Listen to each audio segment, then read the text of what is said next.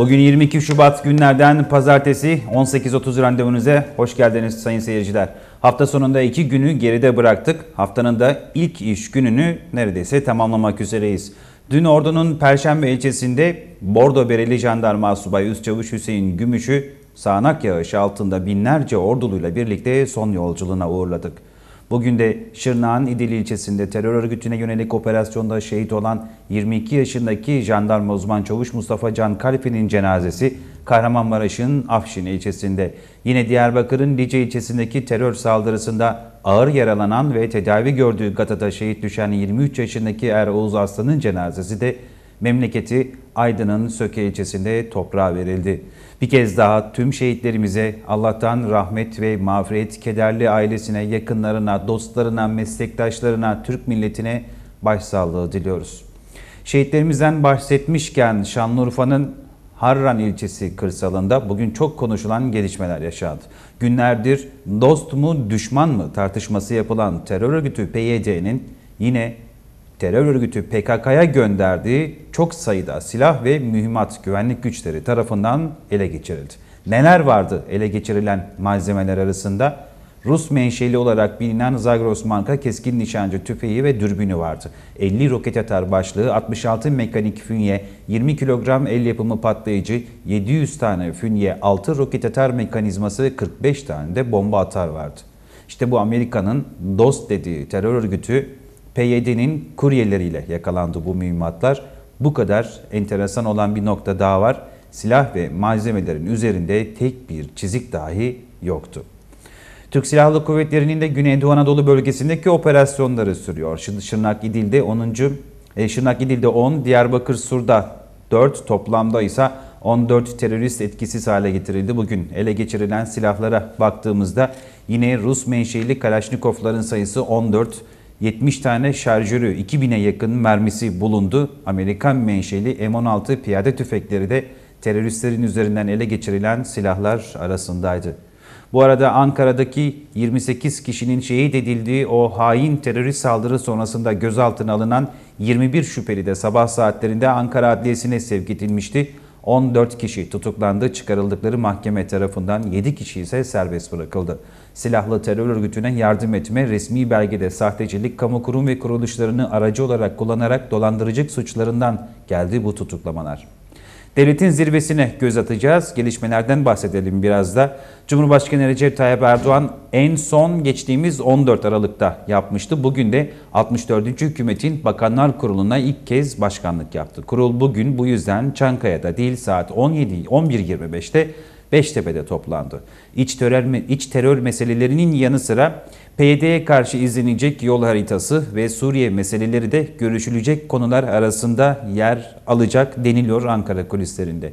Buna Ankara'daki teröre karşı alınacak özel güvenlik tedbirleri de dahil. Henüz Bakanlar Kurulu gündemine dair de bir açıklama yapılmadı. Başbakan Yardımcısı ve Hükümet Sözcüsü Numan Kurtulmuş yapacak bu açıklamayı da bekliyoruz.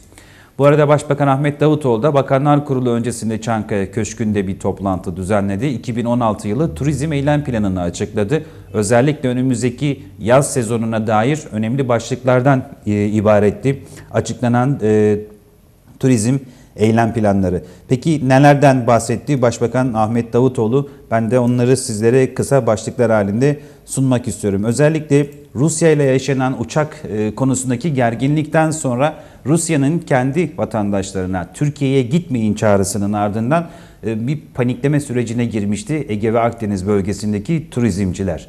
Bu sıkıntıları da uzun bir süredir devam ediyor. Başbakan Davutoğlu'nun bütün yabancı konuklara bugün e, Türkiye'ye daveti vardı bu toplantıda. Türkiye evinizdir mesajını verdi. Sektöre de ayrıca 255 milyon lira hibe e, müjdesi vardı. Yine 288 milyon liralık da ödemelere erteleme getirdiklerini açıkladı. 3 yıla yayılmış şekliyle ödeme kolaylığı bu başlıklardan birisiydi. Hemen Türkiye'nin güneyinde Suriye'de bir iç savaş var biliyorsunuz. Birazcık da son durumundan bahsedelim. İnsan kaçakçılığı hat safhada sınırda buna dair e, Türk Silahlı Kuvvetleri'nin ve güvenlik güçlerinin önlemleri devam ediyor. Rejim güçleri ve muhalifler Halep'in güneyi Türkmen Dağı, Hama ve Humus kırsalıyla Şam'ın doğusunda çatışmalarını sürdürüyor. Halep'in kuzeyinde, kuzeyinde muhalifler terör örgütü PKK'nın Suriye kolu PYD'ye karşı mücadelelerini sürdürüyor. DAEŞ ise rejim güçlerini Halep'in doğusuyla Şam ve Humus yolunda zorluyor. Suriye'de iç savaşta 5. yılı da geride bırakmış olduk yaptığımız bu özetle. Ankara'da en çok konuşulan bir başka konuda Milliyetçi Hareket Partisi'nde yaşanan hareketlilikti. Teşkilat Türkiye genelinde yurt temizliğini sürdürüyor. Genel Başkan Yardımcısı Şefkat Çetin'in parti tüzüğü gereğince 8 il ve 3 ilke, ilçe teşkilatının daha görevden alındığını açıkladı. Peki hangi illerde bunlar? Karadeniz bölgesi ağırlıklı görünüyor. Samsun, Tokat, Bayburt, Gümüşhane, Çorum, Elazığ, Kırklareli ve Tekirdağ il e, yönetimi ile e, Elazığ, Bayburt ve Gümüşhane'nin de merkez ilçe teşkilatları Milliyetçi Hareket Partisi tarafından görevden alındı. Yine akşam bültenine giriş yapmadan çok kısa bir süre önce Anadolu Ajansı'nın da bir haber bütün dikkatleri çekti. Ankara'daki saldırıyı terör örgütü PKK'nın planladığı, örgütün Suriye'deki uzantısı PYD'nin silahlı unsuru YPG'den eleman sağladığı, aracın temininde ise hırsızlık şebekesinin kullanıldığı tespit edildi resmi olarak haberin özeti de kısaca bu şekildeydi. Peki bugün Ordu'da neler konuşuldu gün boyunca? Kısaca da ondan bahsedelim. Terör ordularında sokak gündemindeydi. Mikrofon uzattık, görüşleri aldık. Birazdan paylaşacağım sizlerle. Haftanın ilk iş gününde fındıksa yine ana gündem maddesiydi. Değişen bir şey yok. Hepsine tek tek değişeceğiz. Akşam bülteninde haydi başlayalım.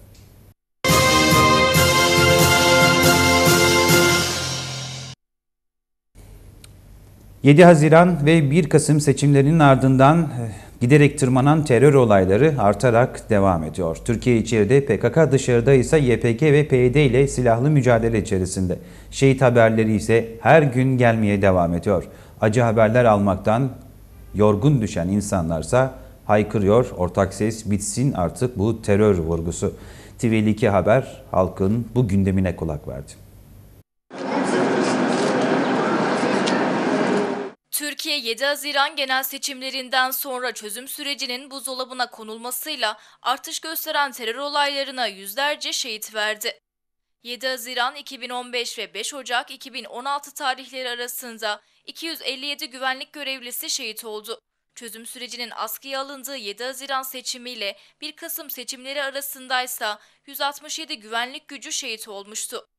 1 Kasım seçimlerinden sonra Doğu ve Güneydoğu'da uygulanan sokağa çıkma yasaklarıyla yaşanan çatışmalar artarak devam etti ve halen silahlı mücadele belirli noktalarda sürüyor. Şehit haberleri ise her gün gelmeye devam ediyor. Ordu'da 21 Şubat 2016 Pazar günü sonsuzluğa uğurladığı jandarma az subay üst çavuş Hüseyin Gümüş'le birlikte toplam 4 şehit verdi. Türkiye sınırdaysa YPG ve PYD ile mücadele ediyor. Yani Türkiye yaşanan gelişmelerle birlikte büyük dalgalarla boğuşuyor. Sınırda da gerginlik tırmanışta. Her gün birbirinden acı haberler almaktan yorgun insanlar artık neredeyse haber kanallarını açmaya korkar hale geldi. Haber izlemeyeyim. Araba terör yüzünden haber izlemeyeyim. Osmanlı devrinden beri Türkiye'de Türkiye'yi istemeyenler, Avrupa, Osmanlı'yı istemeyen insanlar devreye girdi. Bugün içimizdeki yaşayan insanlar da daha evvelden kalan Ermeni soyundan gelen nesiller de var. Türkiye'nin düşmanlığı buradan kaynaklanıyor. Türkiye'nin gelişmesini istemiyorlar. Çok acı bir olay. Ama nasıl bitirilir, nasıl bitirmez bilemiyorum ama... Allah başımızdan devirsin. Allah onlara fırsat vermesin bir daha. Yani memleketimiz huzur içine girsin şey olsun ya yaşayalım hep beraber yani şurada.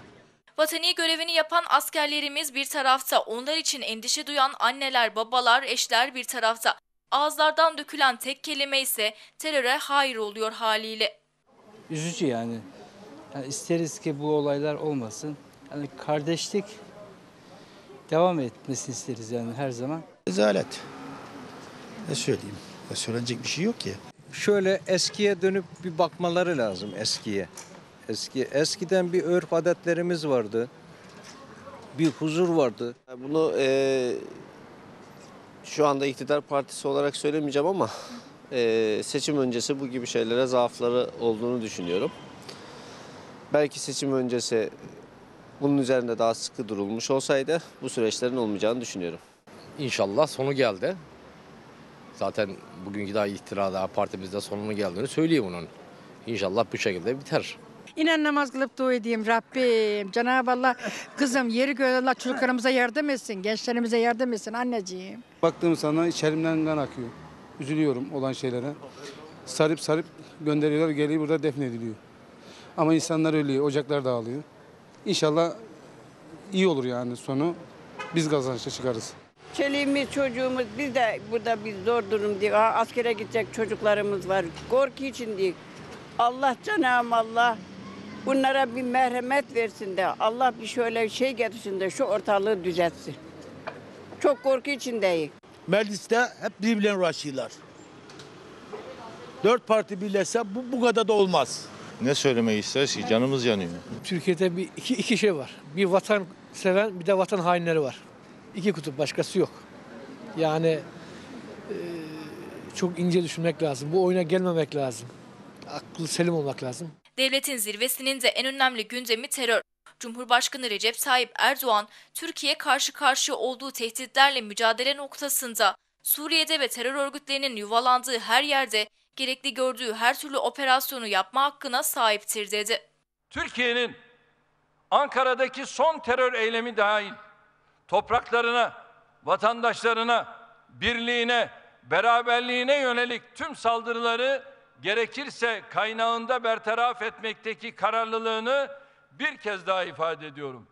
Dünyanın diğer ucundan gelip DAEŞ'le mücadele bahanesiyle Suriye'de eli kanlı rejimin payandalığını yapanların Türkiye'yi maruz kaldığı tüm tehditlere ve saldırılara rağmen kendi sınırlarına hapsetme çabası gülünçtür. Bölgede kendi varlıklarını izah edemeyenler, Türkiye'nin topraklarını ve vatandaşlarının can güvenliğini sağlamaya yönelik operasyonlarına saygı duymak zorundadır. Nefsi müdafaa konumundayken karşımıza kim çıkarsa çıksın onu terörist kabul eder ve ona bu şekilde davranırız. Bunun da böyle bilinmesini özellikle istiyorum. Başbakan Ahmet Davutoğlu da terörle mücadelenin kararlı bir şekilde süreceğine vurgu yaptı. Ve evet terör kalleşçe saldırılarını sürdürüyor. Evet ciğerimize ateş düşüyor. Ama Türkiye büyük bir devlet, milletimiz büyük bir millettir. İçeride ya da dışarıda fark etmez. Hak edene hak ettiği cevabı veriyoruz. Vermeye devam edeceğiz dedi. Türkiye'ye karşı yürütülen kirli kampanyayı dikkatle izliyoruz. Türkiye'yi küçük düşürmeye çalışan, Türkiye'nin zarar görmesinden kendileri için medet uman, bölücü, yıkıcı ve paralel örgütler muratlarına eremeyeceklerdir. Türkiye'nin imajını, uluslararası toplum nezdindeki algısını negatif yönde değiştirmek isteyenler, tarih ve millet önünde mahcup olacaklardır. Türkiye'nin turizmine zarar vereceklerini düşünenler, insanlığın en temel haklarından birine seyahat özgürlüğüne müdahil olacaklarını zannederek hayata, hukuka, özgürlüğe müdahale edebileceklerini sanıyorlarsa yanılıyorlar. Ve fındık fiyatları, fındık fiyatlarının yükselmesini bekleyen üreticiler ürünü pazara indirmemekte kararlı. Haftanın ilk iş gününde ise Ordu Ticaret Borsası'nda az da olsa hareketlilik yaşandı. Fındık haftanın ilk gününde 9 lira 40 kuruştan işlem gördü.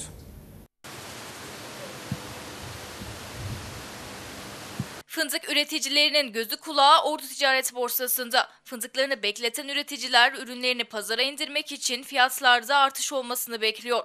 Ordu Ticaret Borsası'nda az da olsa hareketlilik yaşanıyor. Geçen haftayı 9 lira 35 kuruştan kapatan fındık, haftanın ilk gününde Ordu Ticaret Borsası'nda 9 lira 40 kuruştan işlem görüyor. Bakanlar Kurulu konuları arasında fındık fiyatları yer alıyor. 15 gün sürecek olan Bakanlar Kurulu toplantısı sonucunda fındıkta da yeni bir adım atılması bekleniyor.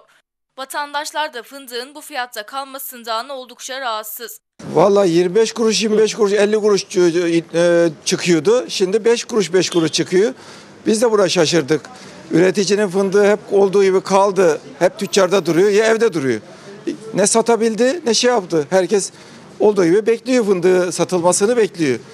Yani millet mağdur oldu. Ordulu mağdur oldu. Yani bu durumda e, yapılacak e, buna bir el atılması lazım. Adam Almanya'da 50-60 60 kuruşa 70 kuruşa satıyor. Buraya gelince 9 lira. Bu kadar da mı olur bu ya? Bu vatandaş bunu aziyet çeke çeke getirdi bu vaziyete. Günahtır. Fındık fiyatı etmediği için piyasada canlanmıyor. Vatandaş da alım e, gücü yok, satım gücü yok. Yani ondan şu anda çok bekletiyorlar fındığı. O da var yani bunun bir önüne yani ne bileyim ki bir şeyin çaresini bulması gerekir yetkililer. Tüccarlar var ya mesela onlar indirdiler bu fındığı. Bizimle oynuyorlar tamam mı? Fındık en azından 16 lira olması lazım, 17 lira olması lazım. Şimdi bir adam yemesi 90 lira, 80 lira mesela. Ha, ne yapacaksın? Bunu o adam nereden verecek? Adam kendi toplayamıyor mesela. Yaşlı adam. Bahçe, 4-5 tane büyük tüccar 4-5 tane büyük tüccar elinde yaktılar bizi. Bunlar hep tüccarlar oynuyorlar yani. Geçen sene de fındık yoktu. Depolar boş mesela. Görüşlerini bildiren vatandaşlar fındık fiyatlarının en az 15 lira olmasını istiyor. 13 e, borsa 13 gösterdi.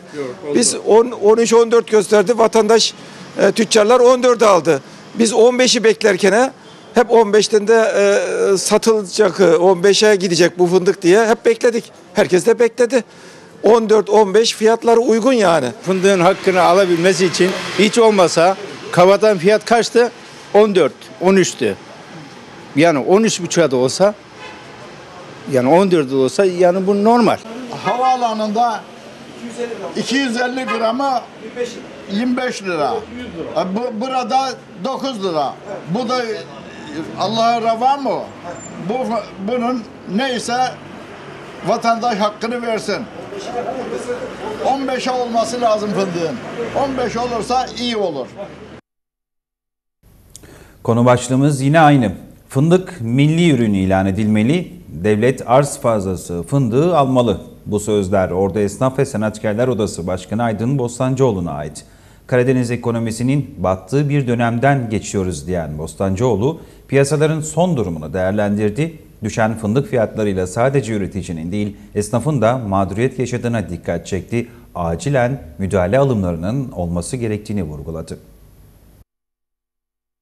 Düşen fiyatıyla bir anda gündem olan fındıkta bekleyiş sürüyor. Karadeniz insanının en önemli geçim kaynağı ekonominin can damarı fındığın 14 liralardan 9 liralara düşen fiyatı sadece üreticiyi değil, esnafı da mağdur etti. Karadeniz'in olmazsa olmazı fındık. Hiç kimse fındıktan e, başka bir ürüne geçme şansımız bizim Karadeniz'in yok. Çünkü düğünümüz, ticaretimiz, her şey fındığımıza bağlı bizim. Ordu Esnaf ve Sanatkarlar Odası Başkanı Aydın Bostancıoğlu fındık fiyatının düşmesinden dolayı esnafın iş yapamaz halde olduğunu söyledi. Fındık bizim temel taşımız. Fındığın fiyatının bugün olduğu durum vahim. Sadece üretici için değil vahim. Bu fındığı alıp deposunda tutan manav için de çok tehlikeli. Onlar da bu konuda eğer böyle sürüp giderse onlar da batacaklar. Hadi üretici kendi fındığını kendi yerde bunu 9 liraya 10 liraya satacak. Ama bu 13 liraya alınan fındıklar bu alan arkadaşlarımızdan olacak. Onları da düşünmek lazım. Ama zannediyorum e, konuşulan işte belki bir alım olur anlamında bir kıpırdanma var ama devlet eli olmadığı fındığın devletin eli altında olmalı. Karadeniz ekonomisinin battığı bir dönemden geçiyoruz diyen Bostancıoğlu, fındığın milli ürün ilan edilmesi gerektiğine dikkat çekti. Milli ürün ilan edilmeli. Artı arz fazlası fındığı devlet almalı.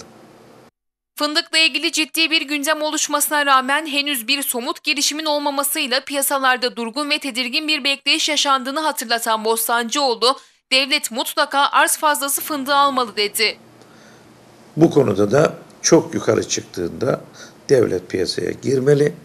Fındığı sibop görevi görmeli. Aynı ayarda tutmalıyız. Şimdi ne oldu? 13 bin liraya 14 liraya fındık alındı. Bugün 9 lira 9250 civarlarında 9.25 civarlarında fiyatları var. Bu Karadeniz ekonomisinin battığı bir dönem diye söyleyebilirim. Havaların iyi gitmesi, fındığın can düşmanlarından biridir. İnşallah ileriye doğru kar falan yağmaz, don olmaz. Don olsa yine biteriz. Onun için fındığımızın devletin güvencesi altında olmalı. Milli ürün ilan edilmeli ve devlet de az fazlası fındığı almalı.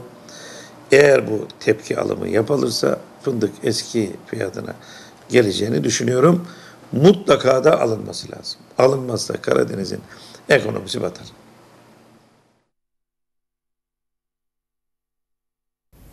Geçtiğimiz hafta orduyu etkisi altına alan sıcak hava dalgası adeta fındık dallarına da yalancı baharı yaşattı. Yer yer 25 dereceleri gören hava sıcaklığı karşısında fındık dalları kendini resmen güneşe bıraktı. Yapraklar da kendini göstermeye başlamıştı. Yeni haftaya girdiğimiz bu günlerde ise soğuk hava dalgası ile birlikte gelen kar yağışı özellikle orduda iç kesimlerde kendini gösterdi. 8 ilçe beyaz örtüye büründü hatta okullar bile bugün tatildi. Bu ilçelerden bir tanesi de Gürgentepe. Gürgentepe'de de etkili olan kar yağışı üreticinin aklında soru işaretlerine sebep oldu.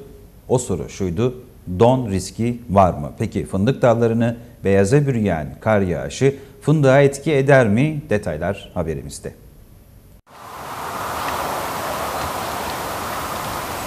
Geçtiğimiz günlerde orduda etkili olan ve yer yer 25 dereceleri bulan sıcak hava dalgası fındık dallarında yalancı bahar esintilerine sebep olmuştu. Güneşi gören fındık tomurcukları da adeta canlanmış, ordunun bazı noktalarında bulunan fındık dallarında ise yaprak açmasına neden olmuştu. Mevsim normallerinin üzerinde seyreden sıcaklıklar bugünlerde ise yerini soğuk hava dalgasına bıraktı. Orduda etkisini hissettiren soğuk hava dalgası beraberinde kar yağışını da getirdi. Ordunun yüksek rakımlı ilçelerinden biri olan Gürgentepe ilçesinde gece saatlerinde başlayan kar yağışı ilçede bulunan fındık dallarını ise beyaz örtüyle kapladı. Takvimler 22 Şubat 2016'yı gösteriyor. Biz de TV52 haber olarak Ordu'nun Gürgentepe ilçesine geldik. İlçede dün akşam itibariyle başlayan kar yağışı fındık dallarının üzerini beyaz örtüyle kapladı. Peki fındığın üzerinde bulunan bu kar zirai don riskini de beraberinde getirir mi? Gürgentepe Ziraat Odası Başkanı Akın Çalış'tan bu sorunun cevabını aldık.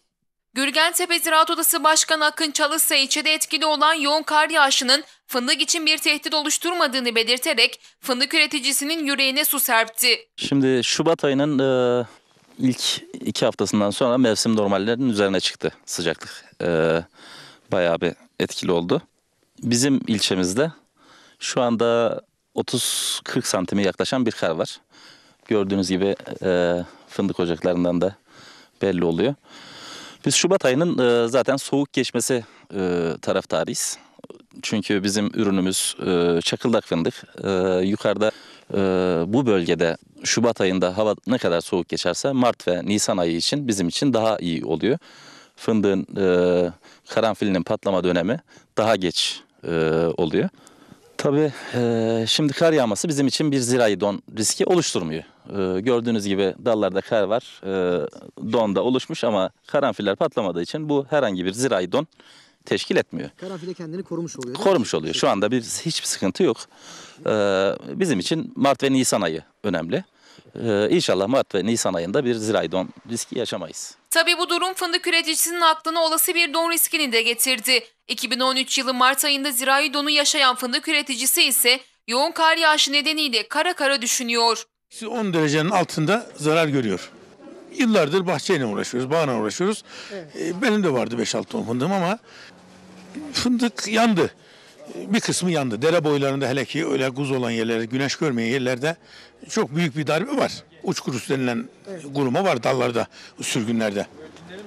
Ama bilmiyorum artık bazen derler ki koca karı tabirleri nasip ayrılmış derler ama nasibından bu işin şey yok. Bilimsel olarak fındığın buralarda bayağı etkilendiğini görüyoruz. Herkes, hepimizin güvendiği bir fındık oluyor. O fındığı da e, kaybettiğimiz zaman e, zaten vay bizim halimizde işte böyle e, kara kara düşünme, kar yağıyor, e, kilolar yağıyor. Ondan sonra işte bakıyoruz e, hemen bahçelere gidiyor, bakıyoruz. E, fındık yandıysa zaten bizim içimiz de yanıyor. Etkilenmese bile aşağıda ordunun 500 rakamının altında etkilenir kesinlikle. Çünkü burası fındık, yağlı fındık, palas fındık. Bunlar e, şeye soğuğa dayanıklı değil.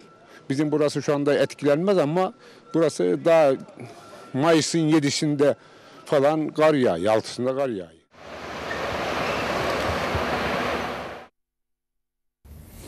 ...22-28 Şubat tarihleri arasında bu yıl 27.sini kutlanan vergi haftası sebebiyle Ordu Defterdar Vekili Mustafa Kul ve beraberindeki heyet Ordu Valisi İrfan Balkanlıoğlu'nu ziyaret etti.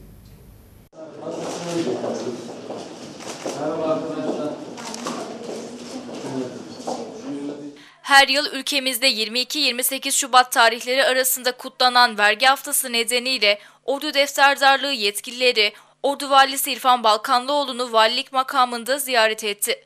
Vergi haftası nedeniyle Ordu Valisi İrfan Balkanlıoğlu'nu ziyaret eden Ordu Defterdar Vekili Mustafa Kul, beraberinde Gelir Müdürü Ramazan Çakan, Boztepe Vergi Dairesi Müdürü İdris İzzet Erkan, Köprübaşı Vergi Dairesi Müdür Vekili Şenol Yıldırım, Milli Emlak Müdürü Yavuz Uyaroğlu, beraberindeki heyet Vali Balkanlıoğlu'na vergi haftası nedeniyle bilgiler verdi. Köprüler alt geçit, üst geçit, denizden karşıdan karşıya geçelim İzmit Körfezi. Hep bunlar istiyoruz. Vatandaşlar olarak hep istiyorlar. Ama bunların hepsine finans lazım, para lazım yani. Para olmadan yapılmaz. Şimdi bir de verdiği vergilerin somut şeylerini görüyor artık gözüyle. Önceden tabii kazanç az olunca vergi de azdı. Verdiğim vergi nereye gidiyor diyebilirdi. Ama şimdi gözünün önünde havalimanı yapıldı bakın. Köprüler, viyadükler yani verdiği verginin nereye gittiğini gözüyle görüyor artık vatandaş. Hep hizmete gidiyor. Dolayısıyla değerli arkadaşlar ben bu vesileyle tekrar vatandaşımızın vergi bilincine ulaşması, gönül huzuruyla hesaplayıp hiç kaçırmaya şuraya buraya tevessül etmeden zamanında vergisini ödemesi e, düşüncesi ve temennisiyle bütün çalışanlarımızı, emek üretenlerimizi, vergi veren mükelleflerimizi ve vergi tahsil ve tahsilatla ve hatta işte ta, ta, tahakkuk tahsilatla görevli arkadaşlarımızı bir kez daha kutluyorum.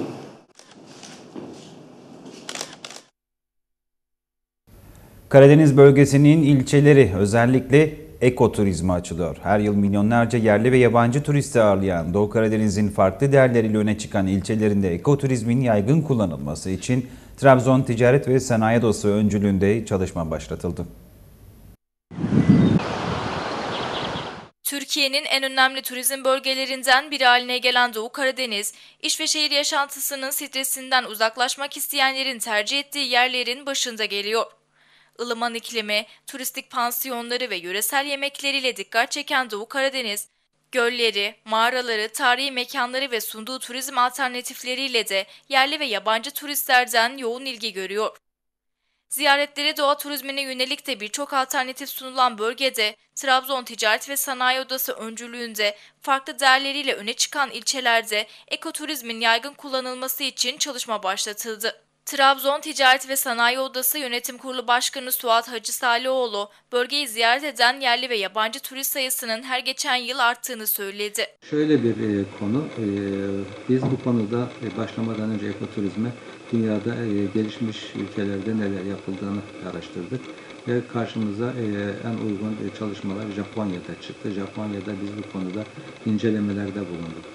Japonya'da 80 bin nüfuslu bir e, ilçeye e, 3 milyon 800 bin civarında turistin geldiğini öğrenince tabii bizler e, o bölgeye nazaran daha avantajlı olduğumuzu gördük.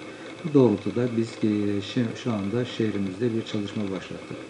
E, bu şu demektir, e, hemen hemen her ilçe, ilçemizde ekoturizme uyan e, köylerimiz var. Buralarda turistlerimizi buraya götürmek suretiyle ve buradaki kültürü, sanatı, tarihi yaşatarak ve onları bir gününü tam dolu bir hale getirerek kendilerinin doğanın içerisinde e, bu e, turizmi yaşayarak e, bunu öğretmek olacak. Bölgenin yeni yatırım ve çalışmalarda turizmde cazibe merkezi olma özelliğini arttırdığını dile getiren Hacı Salihoğlu, bu kapsamda Karadeniz kültürünün, dokusunun, yaşamının bütün değerleriyle korunması ve turizme katılması için ilçe belediyeleriyle işbirliğine adım attıklarını ifade etti. E, belediyelerimizle, e, köydeki vatandaşlarımızla e, toplantı yapmak suretiyle ve buralarda da eğitim vermek suretiyle ve altyapı olarak da belirli e, binaların yeni restorasyonuna destek vermek suretiyle bunun altyapısını oluşturacağız ve destinasyonlarımıza bunları ekleyeceğiz. Programlar dahilinde turistlerimizin bu bölgelere gitmesini sağlayacağız. Dolayısıyla e, bu tanıtımlarla birlikte ve eğitimlerle birlikte gelen turist sabah e, ayrıldığı zaman otelinden ve böyle bir programa katıldığı zaman akşama kadar bu bölgenin kültürünü tamamen yaşamış olacaktır. Bunları bütün dünyada vardır ve şehrimizde de biz bunu e, uygulamaya başlayacağız. Bu yazdan itibaren buna da devam etmiş olacağız. Sayın seyirciler bültenin başında da kısaca bahsetmiştim. Milliyetçi Hareket Partisi'nde muhalif hareketin başlamasıyla il ve ilçe teşkilatlarının kapatılma haberleri de birlikte geliyor. Bugün MHP'den yapılan açıklamada Elazığ, Samsun, Tokat, Kırklareli, Tekirdağ, Bayburt, Gümüşhane, Çorum il, Elazığ Merkez, Bayburt Merkez, Gümüşhane Merkez ilçe teşkilatlarının kapatıldığı açıklandı. Geçtiğimiz günlerde de Aksaray, Uşak, Kilis, Denizli teşkilatlarının kapatıldığının duyurulduğu MHP'de son 4 günde kapatılan il teşkilatı sayısı 12'yi buldu. MHP'nin teşkilatları kapatma kararı partide deprem etkisi yarattı. MHP Fatih'le başlayan kapatma listesi uzadıkça uzadı. Kurultay isteyen muhaliflere göre MHP yönetimi kurultay için imza veren örgütleri temizliyor. MHP yönetimi son 4 günde aldığı kararlarla bazı il ve ilçe teşkilatlarını tüzükten aldığı yetkiye dayanarak kapattığını duyurdu. MHP'den gelen son dakika haberlerine göre parti yönetimi Elazığ, Samsun, Tokat, Kırklareli, Tekirdağ, Aydın, Gümüşhane, Çorum il yönetimlerini görevden aldı. MHP son 4 günde Elazığ, Denizli, Aksaray, Uşak ve Kilis, Tokat il teşkilatlarıyla Elazığ, Aksaray Merkez ilçe ve İstanbul Fatih ilçe teşkilatlarının kapatılması kararını aldı. Bugün bu listeye Kırklareli il ve Kırklareli Merkez ilçe de eklendi. Öte yandan birçok ilde il yönetimi görevden alındı. MHP Ardahan İl Başkanı Taşkın Polat, partisinin bazı il ve ilçe teşkilatlarını kapatma kararını eleştirerek bizim davamız MHP'yi iktidara taşıma davasıdır dedi. Milliyetçi Hareket Partisi'nin duruşu, tavrı ve iktidarı önemlidir. Bizim sorumluluklarımız var. Halkımızın bizden beklentileri var.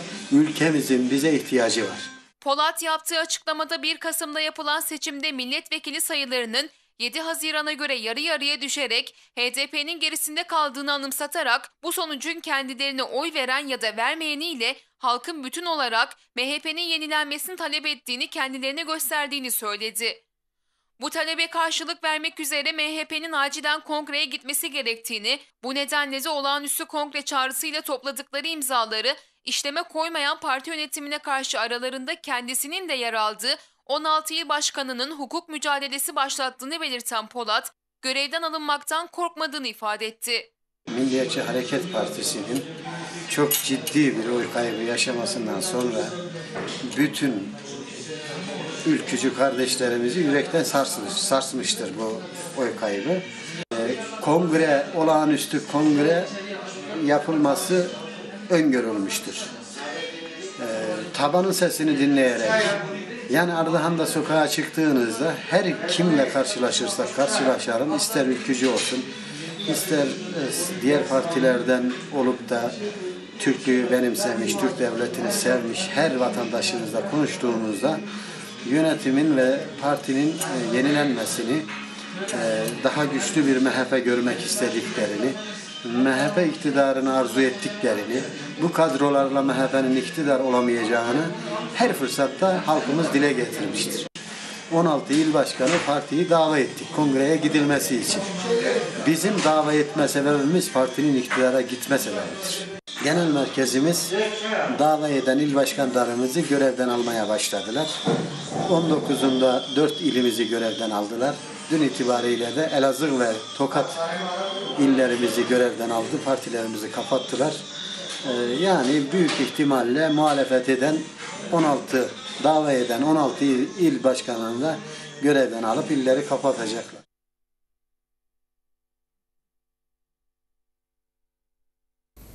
Sayın seyirciler hayat devam ettikçe insanoğlu trafikte var oldukça kazalar da elbette kaçınılmaz oluyor. Bu bütün dünyada, bütün yaşamda böyle. Kazalara hayat kurtarmak için giden acil servisler yani ambulanslar dahi kaza yapmaya başladı. Tedbirler alınmıyor mu? Alınıyor. Peki neler alınıyor? Nasıl tedbirler alınıyor? Ordu Trafik Şube Müdürü İsmail Erol anlattı. Gün araçların eklenmesi trafik yoğunluğunun artmasına sebep oluyor. Artan bu yoğunlukla birlikte trafik kazalarının yaşanması kaçınılmaz oluyor. Ordu Trafik Şube Müdürü İsmail Erol yaşanan trafik kazaları hakkında bilgi verdi. Her ülkede trafik kazası var. Her e, yerde var.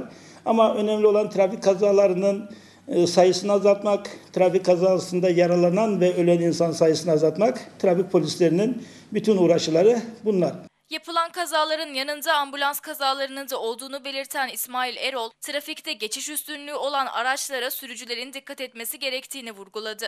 Ambulansların veya geçiş üstünlüğüne sahip araçların görülür veya duyulur işaretini alan sürücüler ya sireninin sesini duyacak ya da çakar lambalarının ışıklarını duracak.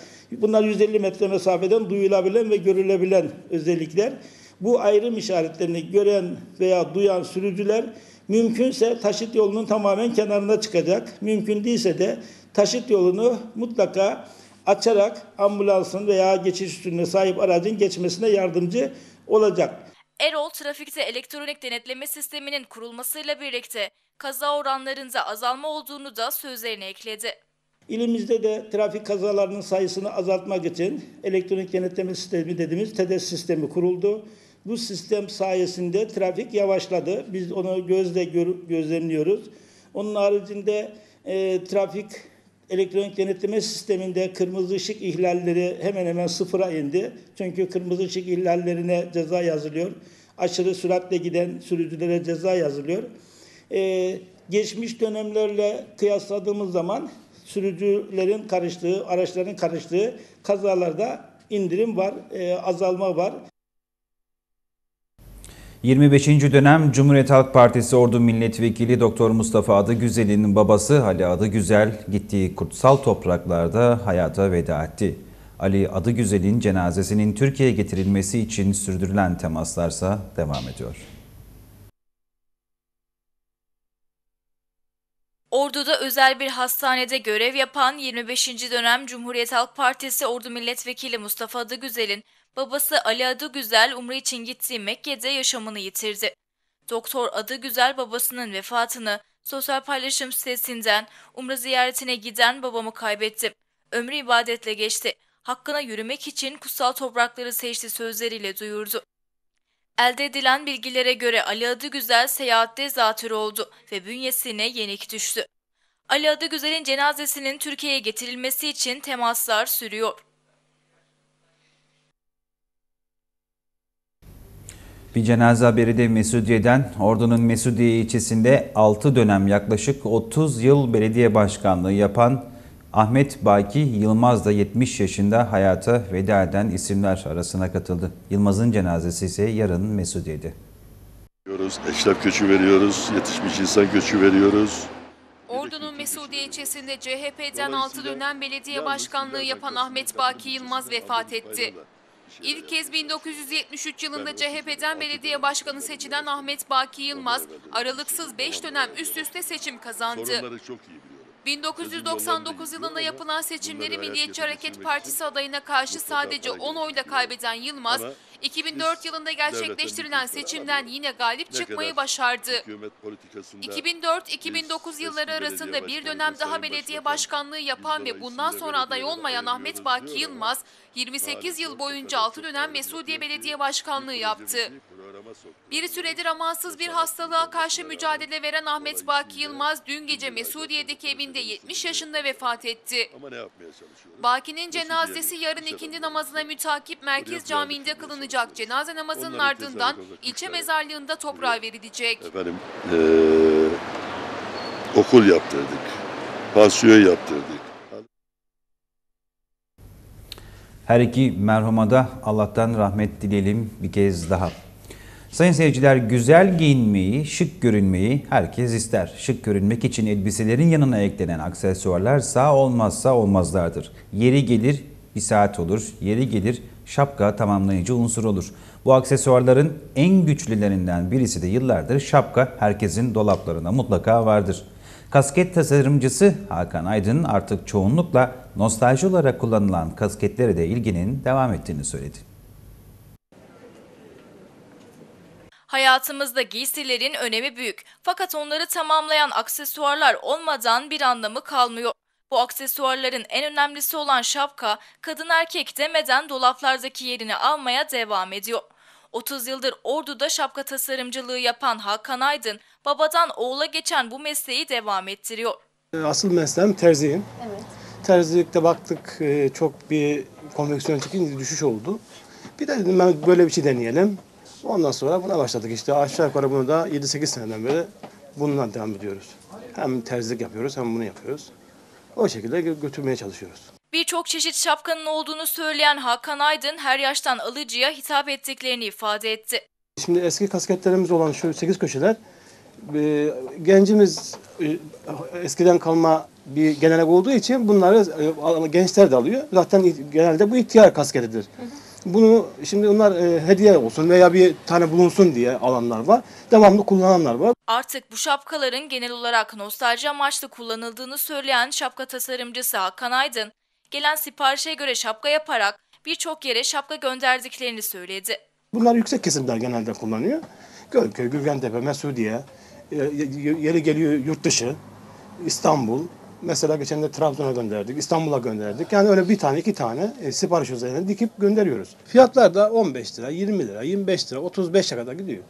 Fotellerimiz var, onlar da 100 liraya kadar çıkıyor. O şekilde. Haftanın ilk gün sonunda ekonomi ve para piyasalarındaki son durumu ve ardından spordaki gelişmeleri de spor servisinden Mustafa Özoğlu sizlerle paylaşacak. Hayatı ve hayatın getirdiklerini paylaştık bu akşam da akşam bülteninde. Yarın akşamki randevumuz yine 18.30'da. Görüşmek ümidiyle mutlu akşamlar diliyoruz.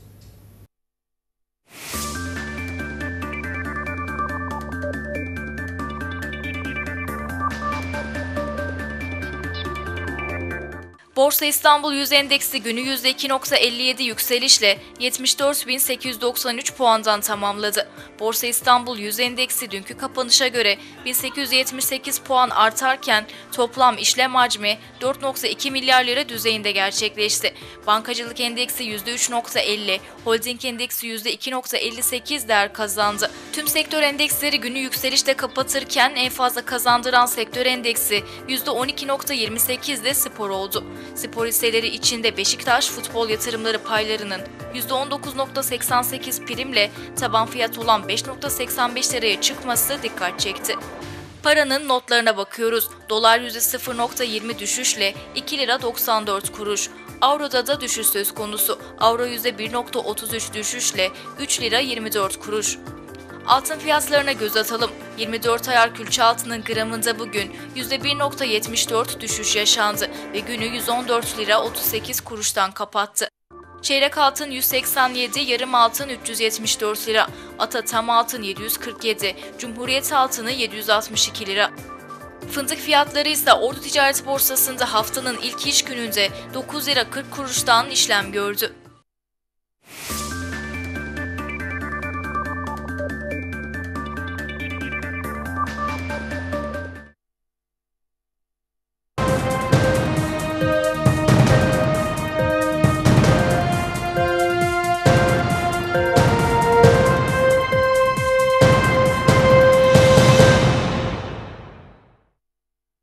Mutlu akşamlar sporun doğru adresi TV 52'ye hoş geldiniz. Spor Toto 2. Lig Beyaz grubun önemli maçında sahasında Sarıyer'e 2-1 yenilen Mor Beyazlar günü dinlenerek geçirdi. Teknik direktör Turgut Kır Sarıyer maçında ortaya konulan olumlu futbol nedeniyle futbolcularını kutlarken basit hatalardan dolayı goller yediklerini açıkladı. Spor Toto 2. Lig Beyaz grubun önemli maçında sahasında Sarıyer'e 2-1 yenilen Mor Beyazlılar günü dinlenerek geçirdi. Sarıyer karşısında sezonun en iyi futbolunu oynamasına rağmen sahadan mağlubiyetle ayrılan Mor Beyazlar'da yenilgi camiayı üzerken olumlu futbolu ilerisi için umut verdi. Nazilli Belediyespor maçının hazırlıklarına yarın başlayacak olan Mor Beyazlar'da Arda Aslan'ın sakatlığı devam ederken Arda'nın 4. sarı kart nedeniyle cezalı duruma düştüğü için Nazilli deplasmanında takımdaki yerini alamayacak. Ordu Spor Teknik Direktörü Turgut Kır, Sarıyer maçında ortaya konulan olumlu futbol nedeniyle futbolcularını kutlarken basit hatalardan goller yediklerini, buna rağmen oyundan kopmadıklarını, maçı koparmak adına önemli fırsatlar yakalamalarına rağmen bu fırsatlardan yararlanamadıklarını söyledi. Özellikle İkinci yarıda muhteşem oynadıklarını ifade eden Kır, olmadı, olmayınca da olmuyor. Artık Sarıyer maçı geride kaldı. Sarıyer karşısında ortaya konulan başarılı futbolu Nazilli deplasmanında da sergilememiz durumunda Nazilli'den puan ya da puanlarla dönebiliriz açıklamasını yaptı. Bölgesel Amatör Lig 4. grubun ikinci arasında oynadığı 5 karşılaşmayı da kazanan Güzel Ordu Spor'da yüzler gülüyor. Son oynanan Termespor deplasmanından alınan 4-0'lık galibiyetle dönen Yeşil Maviler günü dinlenerek geçirdi. Bölgesel Amatör Lig 4. grubun ikinci yarısında oynadığı 5 karşılaşmayı da kazanan Güzel Ordu Spor'da yüzler gülüyor. Son oynanan Termespor deplasmanından alınan 4-0'lık galibiyetle dönen Yeşil Maviler günü dinlenerek geçirdi.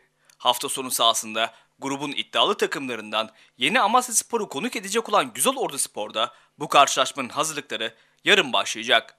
Güzel Ordu Spor Teknik Direktörü Cahit Terzi son 5 karşılaşmadan alınan 15 puanla zirveye yaklaştıklarını, hafta sonu sahalarında oynayacakları yeni Amasya Spor maçını kazandıkları takdirde hedeflerini tekrar gözden geçirebileceklerini söyledi. Tekerlekli sandalye basketbol 1. liginde üst sıralara oynayan Altınordu Belediyesi tekerlekli sandalye basketbol takımı deplasmanda engelsiz Gaziantep takımını 71-49 mağlup etti ve üst üste 4. galibiyetini elde etti. Tekerlekli sandalye basketbol 1. liginde üst sıralara oynayan Altınordu Belediyesi tekerlekli sandalye basketbol takımı Antep deplasmanından galibiyetle döndü. Son haftaların formda takımı Altınordu Belediyesi bu hafta sonu engelsiz Gaziantep basketbol takımıyla mücadele etti. Son 3 haftadır peş peşe aldığı galibiyetlerle üst sıralara tırmanan ve playofflar için iddialı konuma gelen Altınordu Belediyesi tekerlekli sandalye basketbol takımı engelsiz Gaziantep'i deplasmanda 71-49 yenerek üst üste 4. galibiyetini aldı. Deplasmanda baştan sona üstün oynadığı karşılaşmadan 22 sayı farkla galip gelen Altınordu Belediyesi ilk 4 için iddiasını güçlendirdi. Yeni transfer Servan Erdoğan'ın da oynadığı müsabakada Altınordu Belediyesi tekerlekli sandalye basketbol takımı antrenörü Cem Aslan, Antep deplasmanında iyi bir oyun ortaya koyduklarını ve ilk dörde girerek Süper Lig'e çıkmak istediklerini açıkladı. Akkuş erkek voleybol takımında playoff iddiası devam ediyor. Erkekler voleybol 3. lig 3. grupta playoff mücadelesi veren Akkuş Belediyesi erkek voleybol takımı bu hafta Akkuş'ta Ordu Spor'u konuk etti ve müsabakadan 3-0 galibiyetle ayrıldı. Akkuş erkek voleybol takımında playoff iddiası devam ediyor. Erkekler voleybol 3. lig 3. grupta playoff mücadelesi veren Akkuş Belediyesi erkek voleybol takımı bu hafta Akkuş'ta Ordu Spor'u konuk etti. Ordu Spor karşısında iyi bir oyun ortaya koyan Akkuş Belediyesi karşılaşmadan 3-0'lık sonuçta galibiyetle ayrıldı. Ordu Spor karşısında ilk seti 25-21 kazanan Akkuş, ikinci seti 25-20 kazanarak skoru 2-0 yaptı. Son seti de 25-20 kazanan Akkuş Belediyesi 3-0'la müsabakayı kazanarak playoff için iddiasını devam ettirdi. Aldığı bu galibiyetle puanını 26'ya çıkartan Akkuş Belediyesi'nin liderle arasında sadece bir puan fark bulunuyor. Bitime sadece 2 hafta kalan grupta Akkuş son iki karşılaşmasını Erzurum Spor Lisesi ve grupta lider konumda olan 1926 Bulancak Spor ile yapacak. Ordu 1. Amatör Küme 14. hafta maçları biri dışında oynanan 8 karşılaşma ile tamamlandı. Kumra'da oynanması gereken Kurmu Spor Gölköy Spor maçı yoğun kar yağışı nedeniyle ileri bir tarihe ertelendi. Ordu 1. Amatör Küme 14. hafta maçları biri dışında oynanan 8 karşılaşma ile tamamlandı. Kumru'da oynanması gereken Kumru Spor Gölköy Spor maçı yoğun kar yağışı nedeniyle ileri bir tarihe ertelendi. 8 karşılaşmada 44 gol atılırken en farklı galibiyeti A grubu lideri Ünye 1957 Spor deplasmanda Çatalpınar Spor'u 13-0 yenerek aldı. 8 karşılaşmadan 4 maçı ev sahibi, 3 karşılaşma ise deplasman takımları kazanırken bir karşılaşma beraberlikle sonuçlandı. A grubunda 40 puanla Ünye 1957 Spor'un, B grubunda ise 37 puanlı Ulubey Belediyespor'un liderliklerini sürdürdükleri haftada şu sonuçlar alındı. Turna Suyu Spor 4, Ordu İtman Yurdu 1, Ulubey Belediyespor 6, Soya Spor 0, Akyazı Gençlik 5, Aybası Spor 0, Kiraz Limanı Spor 0, Altınordu Belediyespor 4, Demirspor 6, Kapataş Spor 0, Korgan Spor 2, Perşembe Spor 2, Çatalpınar Spor 0, Ünye 1957 Spor 13, Esnaf Spor 0, Fasla Yaşam Spor 1. Spor haberlerinin sonuna geldik. Bizi izleyin haberiniz olsun. Mutlu akşamlar.